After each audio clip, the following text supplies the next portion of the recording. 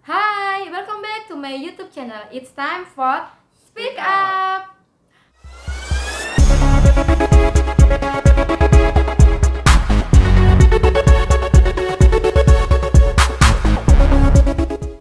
Oke, sebelum kalian nonton channel YouTube aku, jangan lupa buat subscribe, like, comment, and share. Dan jangan lupa buat aktifkan tombol lonceng supaya kalian bisa selalu dapat informasi terbaru dari channel Speak Up.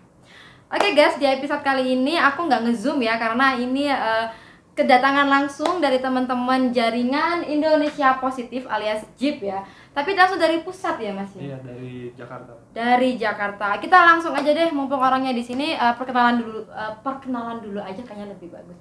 Jelasin dong, Masnya ini ya. siapa nih? Iya, saya nama panjang saya sih Timotius Hadi Wijoyo dipanggil biasa Hadi gitu. Kalau nama bekennya Hadi. Saya Hadi. sebagai koordinator SSR di JIP nah, mungkin bisa sedikit berbagi apa sih itu JIP. JIP adalah jaringan simpul gitu bahwa kami mengakomodir kebutuhan di 26 provinsi yang ada di Indonesia terutama mereka orang ya terutama untuk kebutuhan mereka orang-orang yang hidup dengan HIV AIDS seperti itu ah, dan misi okay. dan misi kita lebih cenderung ke arah uh, kesetaraan gender gitu loh terus lalu kita minta bahwa walaupun orang yang hidup dengan HIV AIDS atau tidak gitu kita mempunyai hak yang sama seperti itu dan juga visi kita adalah bagaimana kualitas hidup orang yang hidup dengan HIV AIDS ini bisa meningkat seperti hmm. itu. Jadi mensosialisasikan lah ya supaya tidak ada perbedaan di lingkungan masyarakat terkait orang yang dengan HIV AIDS dan dengan orang yang tidak dengan HIV AIDS seperti itu. Bisa juga salah satunya. Salah satunya seperti itu. Oke, okay, uh, by the way soal HIV AIDS nih Mas ya. Okay. Uh, seperti kita ketahui jika di Indonesia saat ini itu kan mindset masyarakatnya itu kan masih sedikit apa ya dibilang konvensional thinking juga ada beberapa yang seperti itu. Pandangan masyarakat terhadap para uh, orang dengan HIV uh, AIDS ini seperti ada apa ya ketakutan. Aduh takut menular takut ini. Karena kan ada yang bilang uh, apa ya penularannya itu bisa dengan air liur dengan tatap muka atau apa. Nah itu gimana nih menurut kamu? Ya mungkin gini sih ketakutan ketakutan masyarakat itu sebenarnya normal gitu ya bahwa mereka mungkin minim informasi gitu. Sama aja lah waktu masa kita pandemi covid juga sama semua masyarakat mungkin hampir bisa dibilang takut. Kalau kita bisa menarik sedikit antara kesamaan antara covid dan HIV sebenarnya mereka ini berdua penyakit ini adalah sama-sama pandemi gitu. Ah, okay. dan HIV jauh lebih dulu gitu. HIV jauh lebih dulu corona baru dan kita masih banyak belajar dari dari pandemi corona ini. Tapi hmm. yang bisa kita pastiin dari HIV adalah dia harus melalui uh, perilaku resiko perilaku yang beresiko. Nah seperti apa sih perilaku yang beresiko itu? Misalnya gini hubungan seks di luar nikah tanpa pengaman. Misalnya gini dengan pacar atau dengan selingkuhan atau dengan ya biasa orang menyebut dengan istilah jajan lah seperti itu ya free sex atau ya free sex oke okay. tapi kita tidak menggunakan kata-kata free sex tapi itu tadi sih definisi kami adalah seks yang tidak aman gitu ya apa sih hmm. seks yang tidak aman yaitu seks tanpa menggunakan kondom seperti itu. Nah, tapi kan juga tidak hanya dari seks juga ya mas ya penularannya juga dari jarum suntik atau uh, lagi ya apa aja sih mas bentar? Okay. kok? bisa juga. Kalau tadi itu dari seksual transmisi seksual gitu ya. Terus dari teman-teman maaf gitu uh, misalnya kita ada populasi sekarang yang disebut dengan laki seks dengan laki-laki itu juga LGBT lah ya. LGBT seperti itu. Nah Eh, selain di luar dari itu ada juga misalnya dari teman-teman pengguna nafsa suntik. Nah sebenarnya pengguna narkobanya mereka itu tidak membuat mereka menjadi HIV tapi menggunakan jarum suntik yang tidak steril yang menyebabkan mereka terinfeksi HIV atau hmm. terpapar virus HIV seperti itu sih mbak ah. karena kan biasanya teman-teman di pengguna nafsa ini cenderung susah ya makanya di beberapa wilayah sekarang di Indonesia ini sudah sudah menjadi program pemerintah di puskesmas itu menyediakan alat layanan jarum suntik steril. Nah, ini kenapa untuk memutus mata rantai uh, penularan virus HIV untuk kalangan teman-teman pengguna nafas suntik. Jadi mereka mendapatkan alat jarum uh, alat suntik steril atau jarum suntik steril yang bisa mereka pergunakan bukan untuk melegalisasi mereka, membiarkan mereka memakai bukan, tapi kita memutus mata rantai HIV. Perlu kita ingat bahwa mereka punya istri, mereka oh, okay. punya pacar. Itu yang kita buat supaya bagaimana mereka bisa eh, terhindar dari virus HIV sehingga mereka tidak menulari ke pasangannya atau ke orang yang mereka sayangi seperti itu. Hmm, siap siap siap oke Eh, kit- eh, ka- ini ya cerita mungkin masnya ini eh, kan juga meng odif ya? Ya. salah satu odif ya? Nah tapi seperti kalian kalian mau mau ngomongin ini apa enggak? Boleh. boleh Oh, nggak apa-apa ya? Oke senang banget aku. Oke jadi masnya ini mas Adi ini juga salah satu dari odif ya? Jadi udah berapa lama mas eh, tahu kalau memiliki odif Ya, saya tahu itu waktu itu ngedrop ya, ngedrop saya dirawat di rumah sakit Tahun berapa itu? 2003 eh, kurang sekitar bulan bulan 5 lah, bulan 5 berarti bulan udah berapa empat. tahun itu ya udah lama. lama ya 2003 Lumayan. oke and then Nah, pada saat itu saya sakit, nggak kunjung sembuh. Pada saat itu saya posisinya baru pulang dari sebuah rehabilitasi narkoba gitu.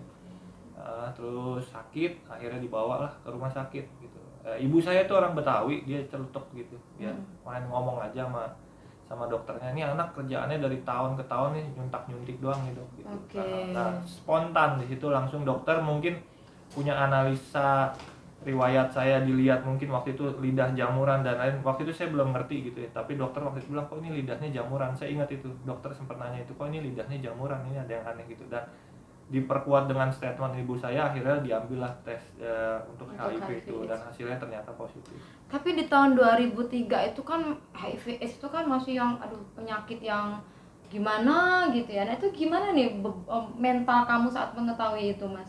ya pasti ngedown lah nggak mungkin begitu tahu status saya raktir makan makan nggak mungkin pasti ngedown banget tapi Pernah pada nggak saat- sempat mikir aduh hidupku nggak akan lama Oh iya pasti itu gitu. pasti. Pada saat itu kan informasi itu masih minim. Saya waktu itu mendapatkan informasi dari website Mbak Nurul Arifin gitu. Hmm. Mungkin terima kasih banyak Mbak Nurul Arifin pada saat itu yang menjadi ak- aktivis HIV/AIDS dan juga Mbak Bibi Jim Aditya gitu. Pada saat itu akses internet juga masih terbatas. Kita Iya, masih pakai kabelan yang punya akses Yang- internet itu cuma orang-orang tertentu gitu. Tapi ke, saya beruntung saya bisa mendapatkan itu dan ya udah akhirnya saya coba akses bahwa HIV ini bisa dikontrol gitu ya bukan di- Disembuhkan itu masih belum ya masih belum Nah, ada. iya. jadi gini sebenarnya untuk disembuhkan orang ini tidak bisa menulari gitu ya tidak bisa menulari ke pasangannya ketika virus ini di di tubuhnya dinyatakan tidak terdeteksi Oke. tapi secara antibodi memang ya virus itu masih ada terus gitu jadi memang selama dia mengikuti anjuran dokter untuk minum obat setiap hari selama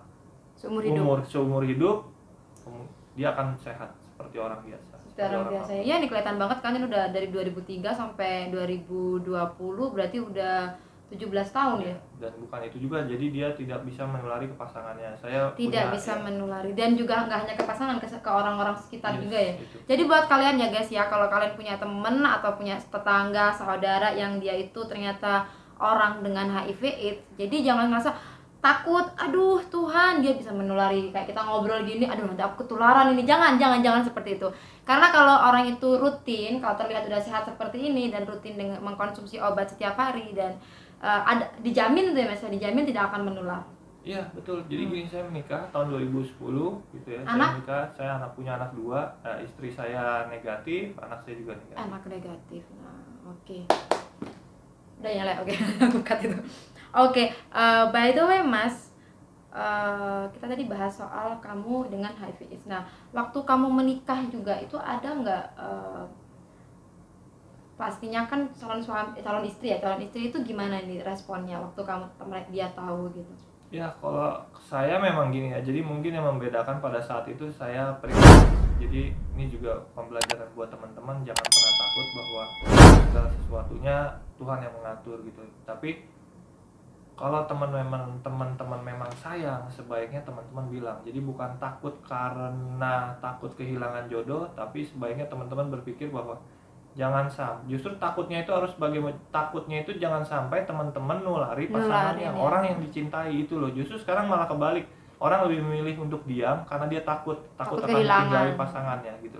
Dan akhirnya nulari gitu. Ketika Malah dinulari ditinggali juga malah kasihan ya. Hmm, akhirnya jadi timbul masalah-masalah baru. Nah yang kayak gini loh. Jadi lebih baik jujur pada saat itu sih saya ngomong. Jadi saya memang orang yang ke mana pun saya pergi saya selalu bilang bahwa saya hidup dengan HIV AIDS dan nggak ada masalah gitu. Dan itu dan welcome menular ya berarti mindsetnya udah terbuka banget. Dan keluarga dari istrinya mas itu juga welcome juga. Apa nggak ada Oh my god. Welcome, biasa. Welcome juga ya. Oh, this is good. Jadi jangan minder ya guys ya. Lebih baik eh, kadang ada ada baiknya juga sebelum menikah itu ada tes juga loh ya. Tes Kalau untuk kesehatan. sekarang iya, pro itu udah eh, program Untuk yang tes Catin, Ah, Catin, oke. itu program pemerintah gitu.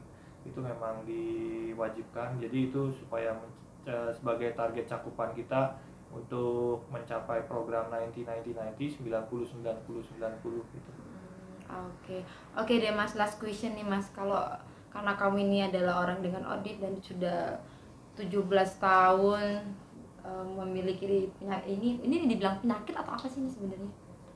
Ya dibilang penyakit penyakit sih, penyakit. Penyakit ya. Berarti tapi kita tidak ber- tidak bisa eh, orang dengan audit ini bukan pasien, Kita disebutnya pasien. juga pasien juga. Oh, oke, audit juga pasien gitu. Oke. Saran kamu dong buat teman-teman di rumah, buat masyarakat Indonesia supaya open minded lah terhadap orang-orang audit ini. Ya mungkin gini sih kita juga butuh bantuan yang pertama-tama bahwa uh, akses informasi sebanyak-banyaknya uh, perlu diketahui bahwa HIV/AIDS itu menular dengan uh, syarat yang tertentu jadi bukan serta merta bisa langsung tertular misalnya contoh dengan dari gigitan nyamuk itu tidak menular sama sekali gitu. Ya. karena di seluruh anggota keluarga saya di rumah ada kakak saya ada ibu saya ada anak saya ada asisten rumah tangga itu semua tidak tertular gitu loh. Jadi harus dengan perilaku yang beresiko. Di, diingat sekali lagi perilaku yang beresiko seperti apa yaitu hubungan seks yang tidak aman. Tidak aman dalam artian ini adalah tidak menggunakan kondom dan bukan dengan pasangan yang sah. Sah jajan free sex ya jangan suka jajan nih. Gitu ya. Kalaupun kalian suka jajan ya paling nggak eh, main aman. main aman lu main pakai kondom. Enggak ini bukan menyalahkan tapi kondom. kita berpikir dalam ranah kesehatan sih gitu. Main aman, kalau bener. untuk ngomongin bicara tentang moral itu bukan Urusan kompetensi gue, ya. saya gitu loh. Tapi juga saya di sini kan nggak bisa mengamati semua teman-teman yang menonton video ini saat ini gitu loh. Jadi ya saran saya cuma satu itu lebih berpikirlah kepada kesehatan teman-teman daripada enak sesaat akhirnya itu merugikan merugikan dan juga meruga, merugikan orang lain itu loh Betul. ya ya oke oke aku makasih banyak ya Mas Hadi untuk sharingnya Siap, Mbak. semoga uh, Jeep ini bisa selalu eksis ya nantinya Amin. ke depan dan banyak banget uh, orang-orang yang berpikiran terbuka dan lebih welcome terhadap orang-orang dengan HIV AIDS ini Ya. seperti itu dan buat kalian semua uh, jangan lupa buat yang belum subscribe channel aku buat subscribe channel aku dan juga share and like dan uh, semoga informasi yang diberikan oleh Mas Hadi dan mungkin uh, narasumber narasumber dari Up yang lainnya bisa me- bermanfaat buat kalian, informatif dan edukatif juga. Jadi sekali lagi jangan takut untuk berbicara karena mungkin apa yang kalian sampaikan bisa merubah dunia. It's time for Speak Up. Bye bye.